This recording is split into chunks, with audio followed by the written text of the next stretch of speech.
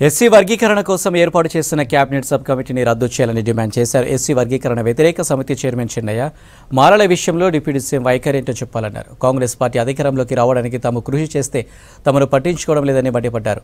Supreme court తీర్పును అడ్డం పెట్టుకొని మారలకు అన్యాయం చేస్తున్నారని ఆరోపించారు చిన్నయ్య.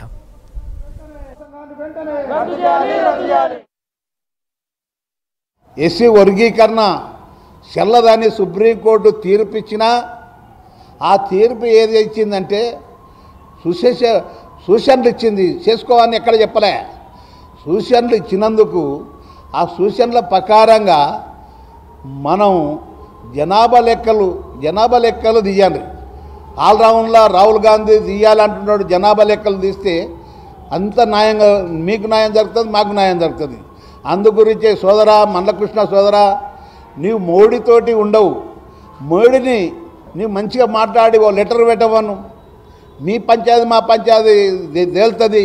లెటర్ పెట్టి జనాభా లెక్కలు మొత్తం తీస్తే మాలలకు జరిగిన అన్యాయం మీకు జరిగిన అన్యాయం న్యాయం జరుగుతుంది.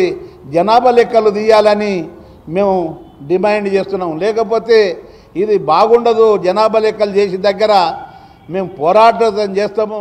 ఇక రిజర్వేషన్లు అనేవి రాజకీయ పార్టీలకు రాష్ట్రాలకు అప్పచెప్తే ఏ కులం ఏ పార్టీకి అనుకూలంగా ఉంటే ఆ పార్టీ ఆ కులానికి ఎక్కువ రిజర్వేషన్లు ఇస్తారు. కాబట్టి ఇది రాష్ట్రాలకు ఏదు రాష్ట్రాల ప్రభుత్వ ఆదాయం ఉండొద్దని చెప్పి అంబేద్కర్ గారు ఆనాడే చెప్పిండు.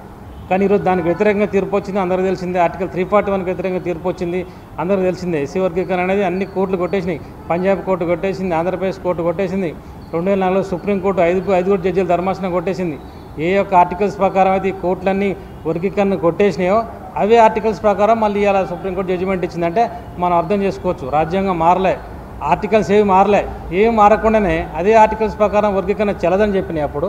ఇప్పుడు అదే ఆర్టికల్స్ ప్రకారం వర్గీకరణ చెల్లుతుందని చెప్తుంటే దీని యొక్క రాజకీయ కోణం కుట్ర అనేది ఏ విధంగా ఉందో ఎస్సీని విభజించాలని ఈ అంటనే వాళ్ళకి రిజర్వేషన్లు అందకుండా చేయాలని ఒక కుట్ర అనేది ఏ విధంగా జరుగుతుందో మనందరం